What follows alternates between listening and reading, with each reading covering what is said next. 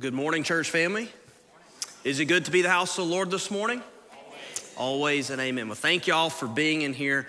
I don't know if it's true for you, but for me, I'm having a wonderful time this morning. We had a great time in our Sunday school uh, with our church family in there, a small portion of our church family, and then gathering in here together with all of you is a joy to my soul. Singing with you, observing a baptism, praying together, giving together, serving together, studying God's word together.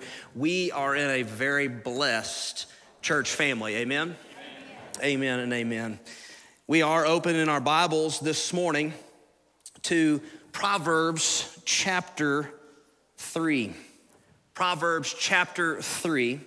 We are in verses 5 through 8. This morning, what I want to talk to you about is trusting in the Lord with all your heart.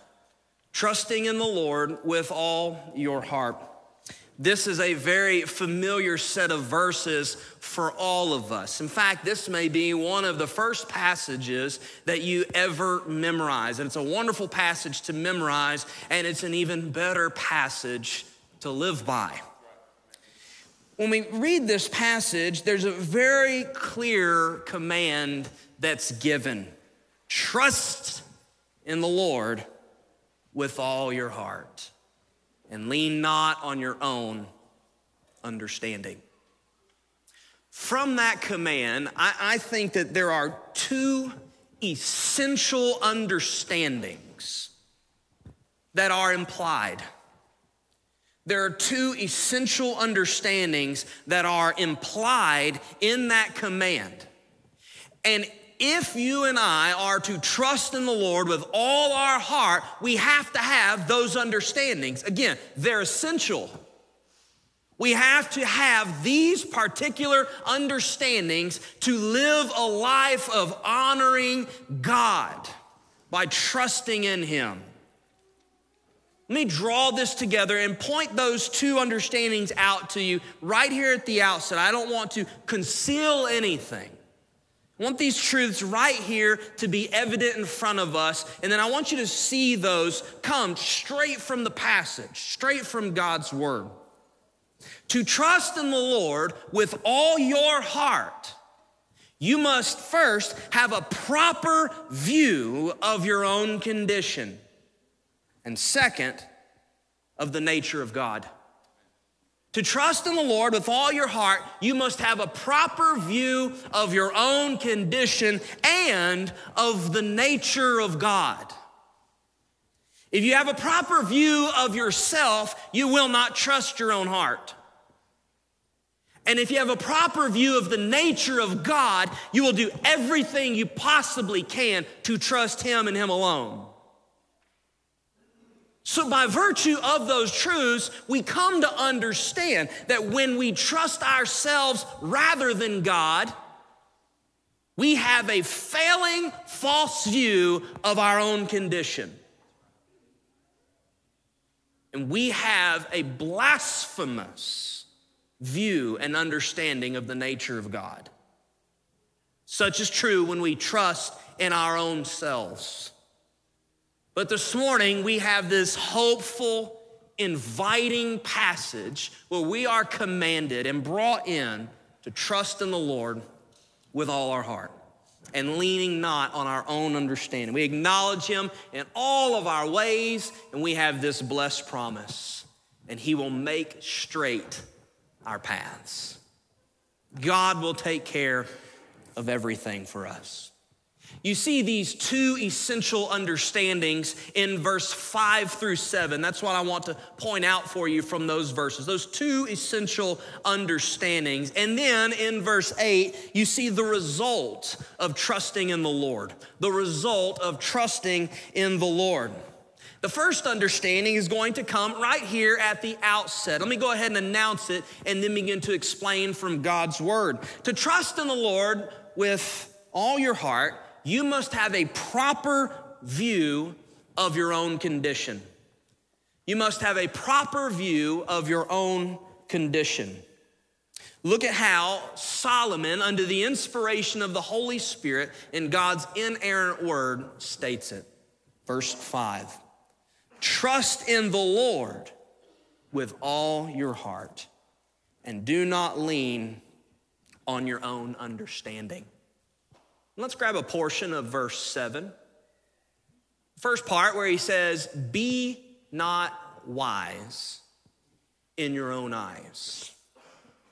You see, there is something implied by Solomon's authoritative command to us to feign trust in ourselves, to avoid it, to render rather our trust fully in God, to avoid leaning on our own understanding, to do what is necessary to not see our own selves as wise.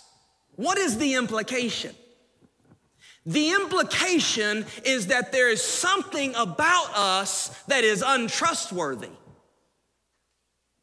There is something about us that will lead us to the incorrect understanding. And there is something about us that is inherently unwise. So we would be wise to understand that about our own condition. You see, even people who are saved, who have been born again, who are forgiven of their sins, this is the truth. We are saved from the penalty of sins by putting our faith in Jesus. We are saved from the penalty of our sins. Jesus died for our sins on the cross. Therefore, we are not held responsible for those sins any longer because they've been paid for. We are freed from the penalty of our sins. We are still being set free from the power of sin, though. We are still being set free from the power of sin. This is, this is what the Bible calls sanctification.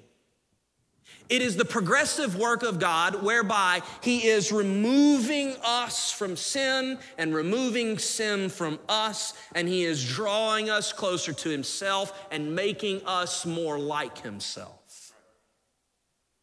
But what is still true of us? What is still true of us is that though we are saved from the penalty of sin, our feelings, our inclinations, our thoughts, our motivations, our emotions are all affected by the presence of sin and the power of sin. All of us. Our thoughts, our feelings, our emotions, our inclinations, our motivations, whether you like it or not in truth, they are all affected by the power and the presence of sin. We are not trustworthy in our own thoughts. Our emotions will lead us astray. Isn't this an excuse that we use at times? Please forgive me. I said that in emotion. I was overcome by the moment. I don't know what overcame me. And we, we recognize these things about ourselves and we use them as a cop out. But the reality is that there is no part of us that is unaffected by sin. In Genesis chapter 6, before God Himself floods the earth and destroys all of humanity, it says this in verse 5 that the Lord saw that the wickedness of man was great in the earth, and that every intention of the thoughts of his heart were only evil continually. Has the nature of mankind changed since the flood? You realize it was still human beings that got on the boat and then got off the boat. The only thing that qualified Noah and his family to get on that boat was number one, the grace of God. It was not a change in the nature of man. And it was the faith of Noah, not the faith of his family. In Ecclesiastes chapter 9, verse 3, Solomon, the writer of Proverbs, the majority of it that is, this is his observation of man. He says, The hearts of the children of man are full of evil, and madness is in their hearts while they live. This is Solomon's observation of all mankind. In fact, even in Jeremiah chapter 17, verse 9, we read that the heart is deceitful above all things and desperately sick. David himself, under the inspiration of the Spirit, in Psalm 51, verse 5, he speaks of his own condition and he says, Behold, I was brought forth in iniquity. And David was not conceived in adultery, by the way. He's not speaking about the manner of his conception, he is speaking about the nature of his condition. Behold, I was brought forth in iniquity, and in sin did my mother conceive me. All of these men and the Lord Himself understood and understand the nature of our condition. There is something about our hearts that are sinful and desperately sick and untrustworthy and undependable. Even the apostle Paul in 1 Corinthians chapter 3 verses 18 through 20 says this. Let no one deceive himself. If anyone among you thinks that he is wise in this age, let him become a fool that he may become wise. For the wisdom of this world is folly with God. For it is written, He catches the wise in their craftiness. And again, the Lord knows the thoughts of the wise, that they are futile. God knows the nature of our condition. And this is what God has inspired to be written for us to not trust ourselves. Trust in the Lord with all your heart and lean not, do not lean on your own understanding. So we are told by way of implication that there is something untrustworthy and undependable about our thoughts and our understandings and our reasonings there is something also implied here about the leadership of the Lord and about the nature of God Himself. The second understanding that is essential for us to have if we're going to trust in the Lord with all our heart, not just knowing our own condition, that we are sinful, but the second is this to trust in the Lord with all your heart, you must have a proper view of the nature of God. He says, trust in the Lord with all your heart. Acknowledge him in all your ways. Fear the Lord. There is something about God that is by nature trustworthy and dependable and right and righteous and good and wise. In fact, that is his nature. There are certain things that we must understand about the nature of God if we are to trust Him with all our heart. The first thing we have to do is we have to understand that God is sovereign, that God is in control of all things. This is why I not only can trust Him, but must trust Him. Isaiah chapter 46, verse 9 through 10. Remember the former things of old, for I am God, and there is none like me, declaring the end from the beginning. And from ancient times, things not yet done, saying, My counsel shall stand, and I will accomplish all my purpose. You see God's claim there? His claim is that He declares the end from when? From the beginning. Before things even start, God has determined the outcome. Why would I not trust Him? You see, there's got to be more that is essential to the nature of God for me to trust in is not just that God is sovereign, because what if God was not good? See, if God is sovereign but he is not good, I wouldn't want to trust him. But the fact is is that not only is God sovereign over all things, but that God is good. First John chapter 1 verse 5. The apostle John says God is light and in him is no darkness at all. There's nothing evil in God. There's nothing malevolent in God. There is no, nothing untrustworthy. There is nothing crooked. There is nothing out of place. God is not like us, and we are not like God. And this is why we are not trustworthy, but God is trustworthy. He is sovereign and He is good. But that's not all. Not only is God sovereign and good, but God is perfectly wise. You see, God has declared the end from the beginning.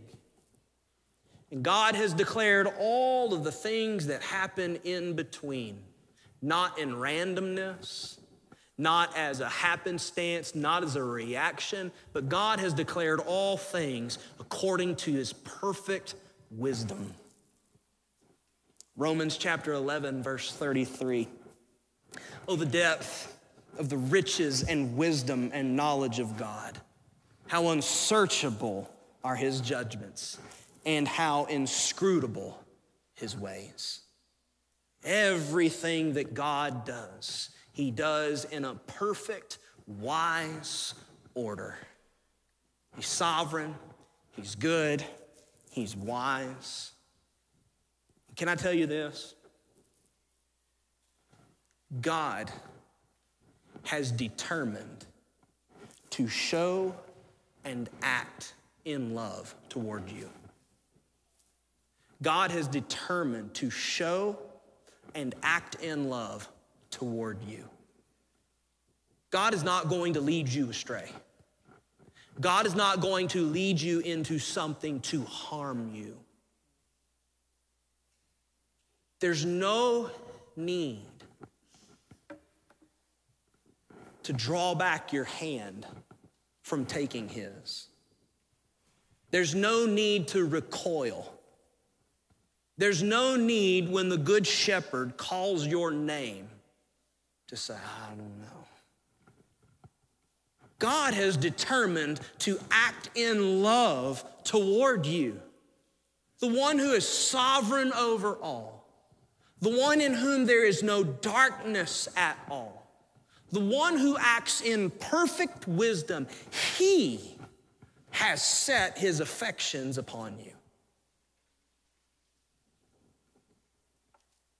How do we know this?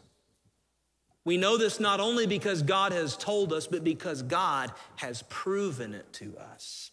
Romans chapter 5, verse 8 but God shows his love for us in that while we were still sinners, Christ died for us. If you want to know how much God loves you, if you want to know if God has determined to act in love towards you, you need look no further than Jesus. God, in His love, has graciously given His Son to live and to die on your and my behalf. If God has given his son for us, why would he ever lead us astray? Do you think God would send his son Jesus to die for you just to get you in his grasp and lead you astray? The answer to that is a resounding no. God has sent the good shepherd to die for his sheep so that we would all be one flock under his leadership and so that he could lead us into green pastures and to still waters and to restore our soul. God is sovereign, God is good, God is wise, and God has determined to act in love towards his people. This is why we so loudly resound with our amens at Romans 8 28. And we know that for those who love God, all things work together for good for those who are called according to his purpose. All things in our lives, God is working them together for good. And while we cannot trust our own thoughts and inclinations and emotions and motivations and feelings and desires, there is nothing untrustworthy in God. And yet there is everything that is trustworthy about Him. Everything about Him is trustworthy. So if we're gonna trust in the Lord with all our heart, we have to come to understand and accept the nature of our own condition. My emotions and inclinations and desires are faulty and affected by sin. And this is the need that I have every moment of the power of the Holy Spirit within me to lead me away from sinful desire and to lead me in paths of righteousness. And the God who made all things and controls all things also loves me. And he has not only offered, he has commanded the way in which we should go. It is wise, it is good, and it will be rewarded as well. Listen to how it works out. Look again, Proverbs chapter 3, verse 5. Trust in the Lord with all your heart. Do not lean on your own understanding. In all your ways, acknowledge Him. Have, have God and His will and His purpose and His law in your mind during everything of life.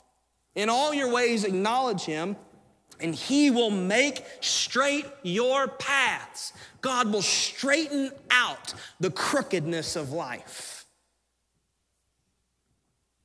We, we, we say things like, oh, what a tangled web we weave. Because we have a way of getting ourselves into situations that feel like a twisted knot or a bird's nest in a fisherman's reel. So, how do we get this untangled? How do we fix this? And most fishermen, when they see that bird's nest in the reel, We'll end up just taking a knife or a pair of scissors and just cut everything, throw it away, and start over. People do this with their life too. Say, well, I'm just gonna go somewhere new, just gonna start over, gonna find somebody new, I'm gonna start over, I'm just gonna cut all ties. How did we get ourselves in these kinds of positions to begin with? We didn't trust in the Lord with all our heart. No, we leaned on our own understanding. In whatever ways we acted, we did not acknowledge Him. And so our paths have become crooked.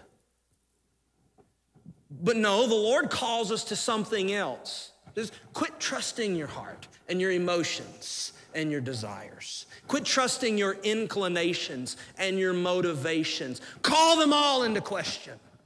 Don't go with your gut. Walk according to God's word. Trust in Him. He's controlling all things. He is good. He is wise. And what will happen when you do trust Him? God will take the crookedness of life and He'll straighten it out. He will make you walk in an upright, righteous, godly manner. God will straighten out the ways of life. See, when your faith is fully invested in the Lord and you walk in obedience to His will, He makes straight your paths. That is, you don't have to concern yourself with securing certain outcomes, nor do you have to be anxious about what will happen. Is this not what troubles us most often? We think that we have to finagle and manipulate and figure out and reason and lose sleep and think it through until we are bleeding from our eyes and ears. We'll figure it out. And we will secure the outcome based on our own thoughts and our own reasonings. But God tells us that if we'll just trust in Him, with all our heart, we don't have to worry. We don't have to be anxious. We don't have to secure the right outcomes. He will. He will take care of it. If we will obey God in the day to day, He will take care of our tomorrows. Seek first, Matthew 6, the kingdom of God and His righteousness. All these things all the things you need in life, God will add them to you. Trust in the Lord with all your heart and lean not on your own understanding. In all your ways, acknowledge Him, and He will make straight your paths. Trust in the Lord. Don't trust in your reasoning. Trust in His command. Why is this? We understand our condition and we understand the nature of God, one of the things that we will come to conclude is this our reasoning will never arrive at the wisdom of God because, in the end, in the final assessment, man is not God. Man is not God. Man never will be God. Man is affected in every way by sin. But even if we were not, hear me, we are affected in every way by sin. But even if we were not, man is not God. In the garden, was Adam affected by sin? Was his intellect? Was his reasoning? Before he sinned, was he affected by sin? No, he was not. But what did Adam fail to do? He failed to trust in the Lord. Instead, he listened to a lie and he doubted God. And Satan said, Did God really say that? Should you really trust him, Adam? Should you really trust him, Eve?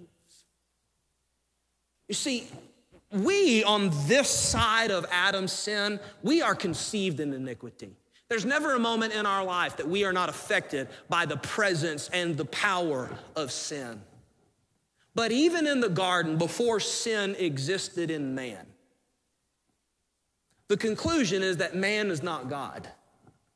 And that if man depends on his reasoning, even in a sinless state, man will fail and fall. None of us are in a sinless state. And even that didn't help Adam. How much more so us now, who have been affected thousands of years of the presence of sin in our ancestors, and thousands of moments and days in our own lives affected by sin. No, the Lord says this of himself Isaiah 55, verse 6 through 9. He says, Seek the Lord while he may be found, call upon him while he is near. Let the wicked forsake his way, and the unrighteous man his thoughts. Let him return to the Lord, that he may have compassion on him, and to our God, for he will abundantly pardon. For my thoughts are not your thoughts, neither are your ways, declare my ways, declares the Lord. For as high as the heavens are higher than the earth, so are my ways higher than your ways, and my thoughts than your thoughts our reasoning, our thinking will never arrive at the wisdom of God.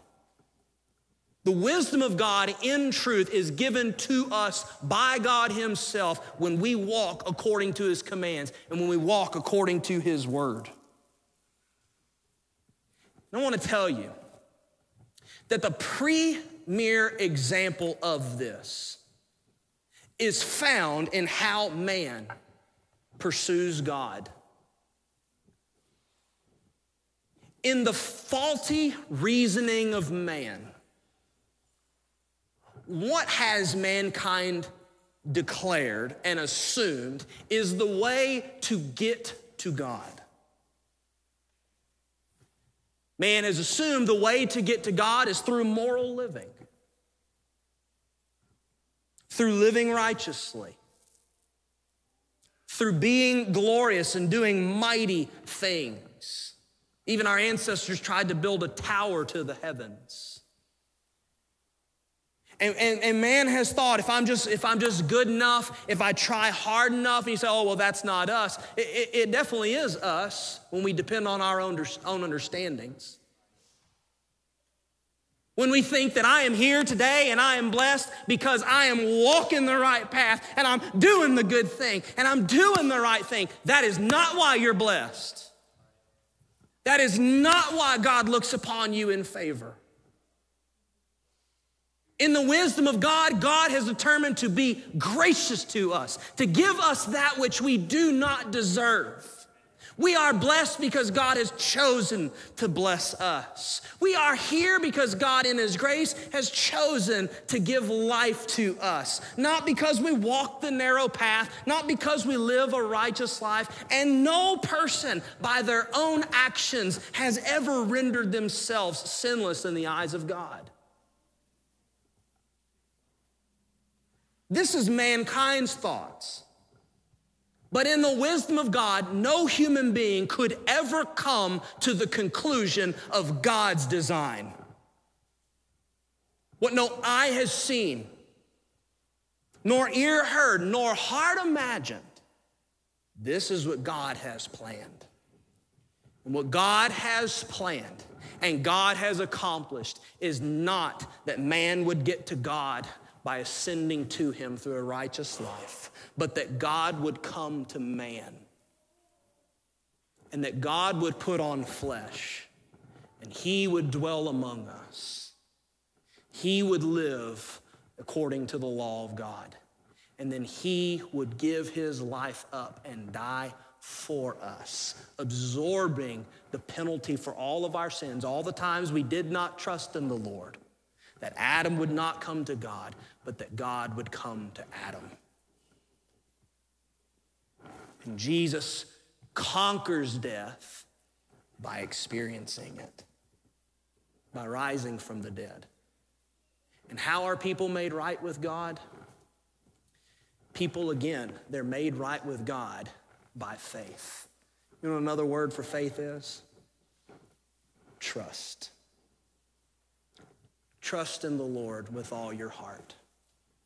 Don't lean on your own understanding. Don't think that you can get to God and be made right with Him because you're going to live right and you're going to clean up your act. No. God, in His sovereign, good wisdom and love towards you, has already come.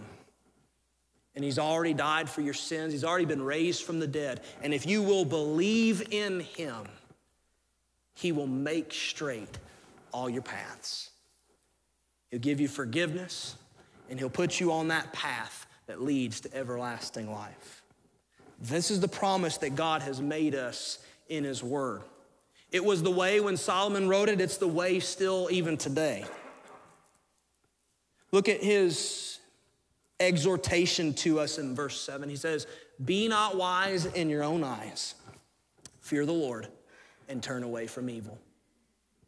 This is the nature of what it means to be truly a wise person is to not think that you're wise. It is to not trust in yourself.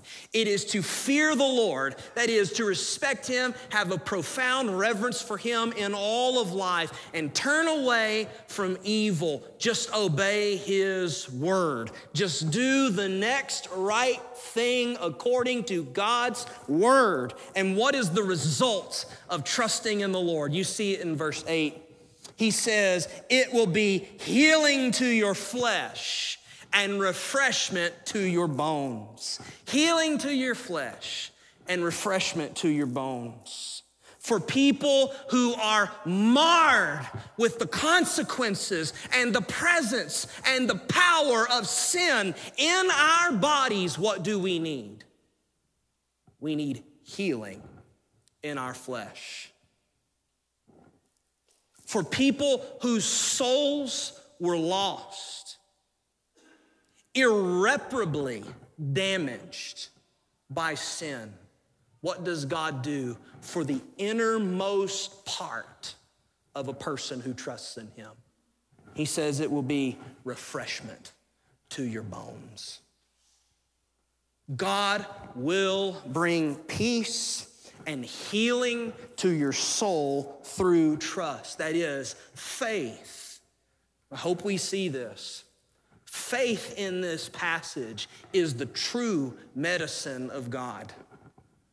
Trusting in God with all our heart will heal what ails us. It will overcome the power of sin.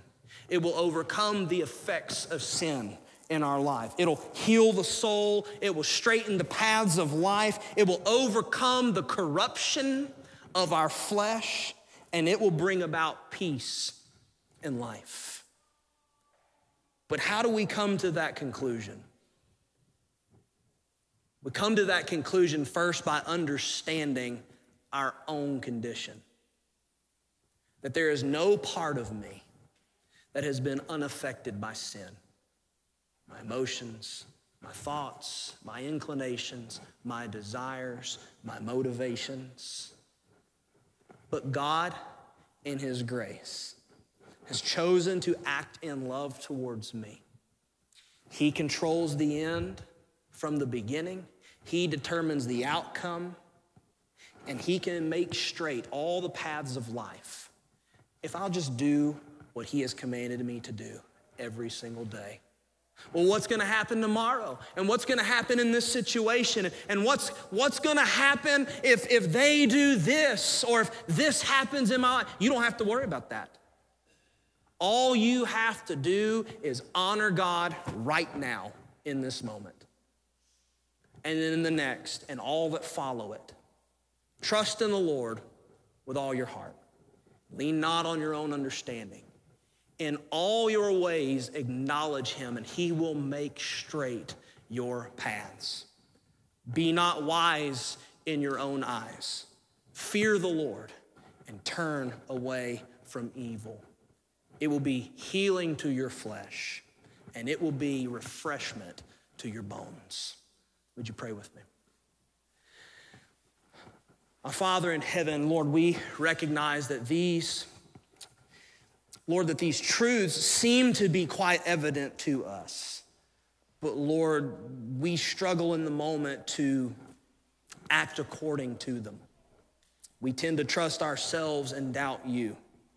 We tend to think we know a better way rather than depending on you. And rather than walking by faith, we walk by sight. But Lord, help us by the power of your Holy Spirit to be people who trust you with every fiber of our being, that we would have faith fully invested. And in this way, Lord, you will bring healing to our flesh, and you will bring refreshment to the deepest parts of our person.